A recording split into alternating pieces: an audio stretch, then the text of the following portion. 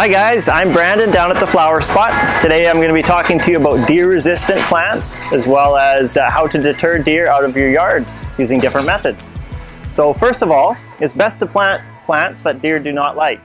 I have a list up at the front actually, which we have come up with ourselves, uh, along with uh, help with the BC Wildlife Branch on deer-resistant annuals and perennials. This is a free handout we can uh, give to you. Just ask when you come into the store. I have a few plants in front of me here.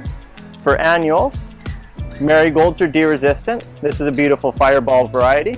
I have Dusty Miller. They don't like the dusty foliage. That's often a rule of thumb. Anything with a fuzzy texture they don't touch. Heliotrope, fragrant, very fragrant. They don't like that. Same with Verbena. It's got an itchy texture to it.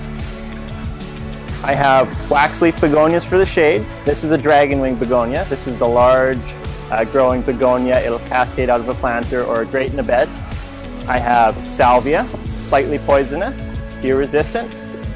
Snapdragons, they come in beautiful colors, love the sun. Lobelia, slightly poisonous, a great edging plant, deer resistant. And of course, dahlias, beautiful dahlias, those are all deer resistant. Perennials, deer-resistant perennials. We've got them too. They're on the list. I'm going to show you a few of my favorites. Lavender, of course, very fragrant. They won't touch this. Very winter hardy in the garden. Make sure you get the English lavender, not the Spanish. We've got day daylilies, Stella de Oro. We have these on sale right now for $7.99. They're deer-resistant. They're reblooming daylily. Coreopsis, bright and yellow, summer bloomer, deer-resistant. Same with blanket flower, Gaillardia. Yeah, I'll be right there. Rudbeckia, black-eyed Susan perennial. Yarrow, also known as Achillea. Hollyhock, Alcea. And Artemisia, Silver Mound, all deer resistant. And perennials for the shade. I've got a beautiful golden bleeding heart. I just planted one of these in my garden. They stand out, the golden foliage, pink flowers, deer resistant. I've got goat's beard, Aruncus, also deer resistant. Virginia, nice coral pink flowers, deer resistant. Lady's mantle, ground cover. Astilbes, and columbines, all for the shade, all deer resistant.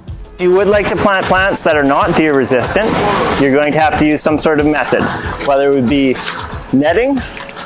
We've got great netting, very fine, keeps the deer and the birds out. We have uh, deer repellent, Bobbex. You spray this on your plants.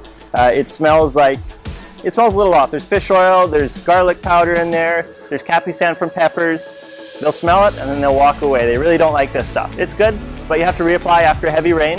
I've got the concentrate and the ready to use. Or my personal favorite, a motion activated sprinkler. These are awesome.